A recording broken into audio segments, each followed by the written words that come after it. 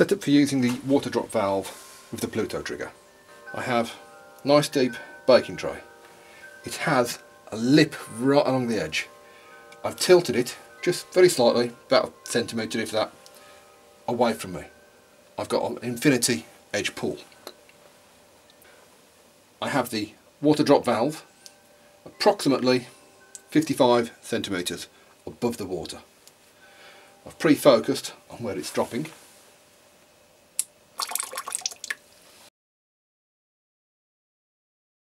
Here's a tip. Instead of trying to hold a stick at the point of impact, what I've put down, I've put a screw right at the bottom of the drop point. Spot on. So now, all I've got to do, I can stand back, zoom in onto the screw, and of course focus in. Now, what I want to do is focus a little bit fractionally forward of that just so I get the crown at the front in focus. What I've done at the back here, I've softened the light by having this piece of material here. Having the light come from behind, light flashes firing away from me, being reflected back by a white card.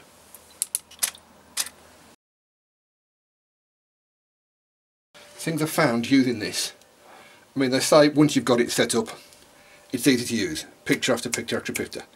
Not quite. The loss of water in the valve changes your settings.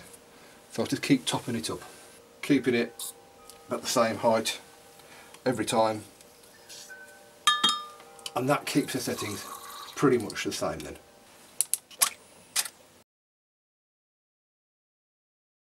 Getting the settings right with the Pluto trigger is tricky, especially when you first starting on them. At this height, about 55 centimetres, using a flash delay at the moment of 265 milliseconds. Drop size for the first one 20, delay of 110, drop size on the second one 17.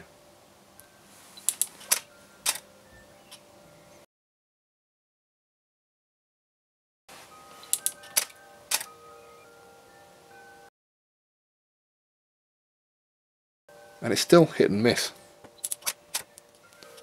The more the water runs out of the valve, the more the settings change. I'm getting some decent ones right now, but five or six shots down the line, it'll suddenly stop, and I'll have to add more water to get back to the same settings. Gone. So now I've got to add more water again.